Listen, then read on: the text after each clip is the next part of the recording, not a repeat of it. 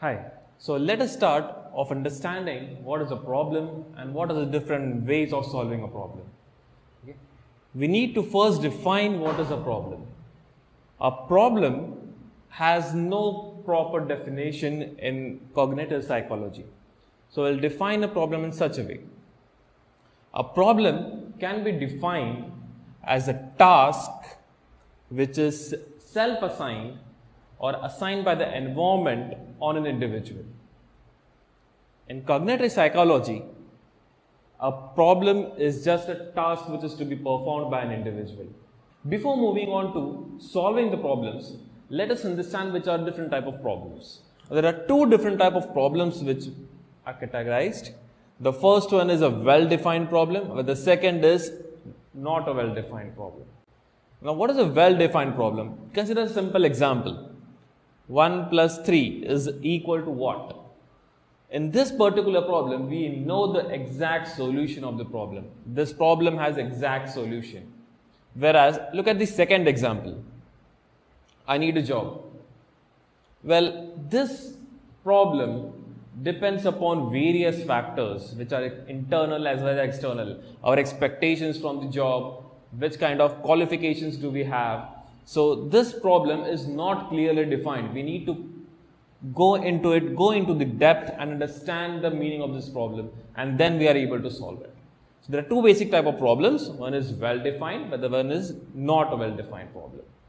Now let us look at some mental process the people go through before moving on to problem solving or before moving on to different methods of problem solving.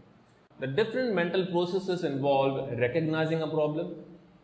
Second, representing a problem in the memory.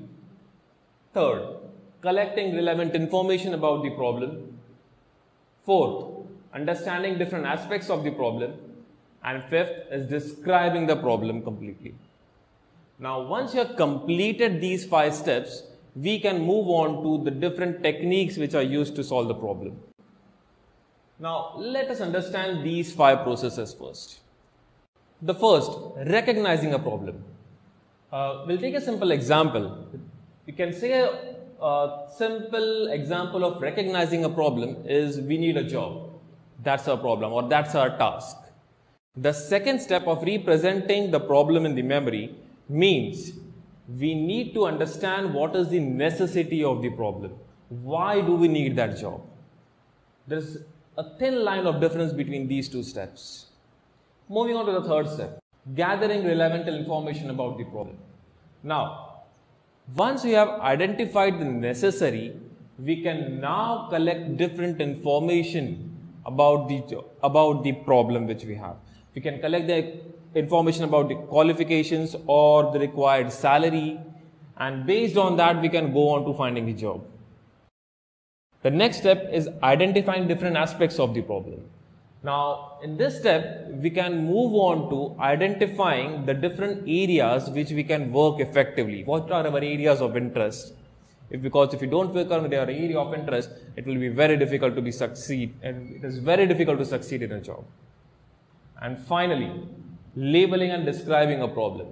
Finally, after moving on to all this process, we finally decide what kind of job we want. We need a job of an electrician or we need a job of an MBA person or a managerial job depending upon what salary we need.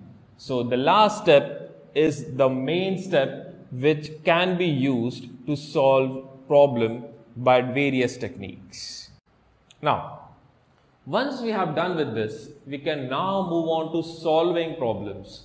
We have four different techniques to solve the problems. The first is the algorithms. Second is the heuristics. The third is trial and error. And the last is insights. Now, the algorithm. The algorithm technique of solving the problem is basically much more scientific. A step by step way which guarantees an answer. For example, if there's a number lock which we need to open it, we don't know the exact number. So what we do is we try different combination. In algorithm, what we'll do is we'll find out numbers from 0, the combination is 0, 0, and we'll go on increasing the number from 0, 1, 0, 2, 0, 3 till 99. and finally the lock gets open. One of the combination is right and the lock gets open, right? So this is an algorithm technique. Now algorithm techniques does guarantee the answer perfectly, but it sometimes may take huge amount of time. If we have three rings in the number lock, it will take, we have to assume thousand numbers to get different combination, one combination which is right.